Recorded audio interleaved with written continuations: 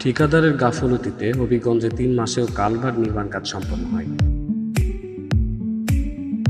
হবিগঞ্জ জেলার বানিয়াচং উপজেলা সদরের নতুন বাজার থেকে পাঁচ ছয় বাজারের মধ্যবর্তী কালভার্ট নির্মাণ কাজ তিন মাসেও সম্পন্ন হয়নি জনগণের ভোগান্তি চরম উঠেছে।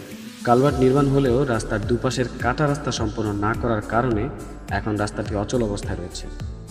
সরকারি নিয়মে রাস্তার ব্রিজ বা কালভার্ট নির্মাণের সময় জনগণের যাতায়াত সচল রাখতে সাইড রোড নির্মাণ করা হয়। যাতে যতদিন ব্রিজ বা কালভার্ট নির্মাণ কাজ সম্পূর্ণ না হয়, ততদিন মানুষজন নির্বিঘ্নে যানবাহন নিয়ে যাতায়াত বা চলাচল করতে পারে। কিন্তু এই স্থানে সাইড রোড নির্মাণ দূরে থাক, মেইন রোডই তিন মাস ধরে কেটে রেখেছে। মানুষজন ও যানবাহন কিছুই যাতায়াত করতে পারছে না। স্থানীয় লোকজন সহ অনেক ছাত্রছাত্রী সমস্যার সম্মুখীন হতে হচ্ছে প্রত্যেক দিন সম্মুখীন হতে হচ্ছে বড় বড় দুর্ঘটনা। কর্তৃপক্ষের উদাসীনতায় তিন মাসের অধিক সময়েও কাজটি সম্পন্ন করতে পারেনি ঠিকাদার কর্তৃপক্ষ। নিম্নমানের ইট বালু দিয়ে দুজন শ্রমিকদের কাজ করানো হচ্ছে বলেও অভিযোগ পাওয়া গেছে।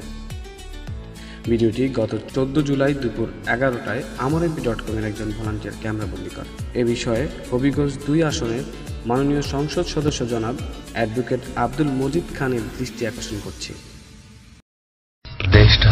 সুন্দর। কিন্তু সচেতন ভাবে অচেতন থাকলে হবে না। আসুন এক হয়ে দেশটা গড়ি। আপনার এলাকার সমস্যা, আপনার সমস্যা, বিশ্বের যে কোনো প্রান্ত থেকে আপনার প্রশ্ন সংসদ সদস্যদের